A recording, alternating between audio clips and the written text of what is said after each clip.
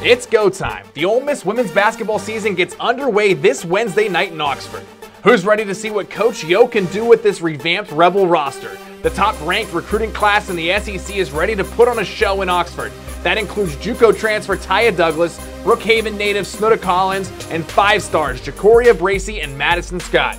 Add in Maryland transfer Shakira Austin, the preseason All SEC forward and member of the Lisa Leslie Award watch list. The Rebels have added firepower going into the season. It'll also be the first time we see Donnetta Johnson in a Rebel uniform. The Queens native sat out all of last season after transferring from Georgia.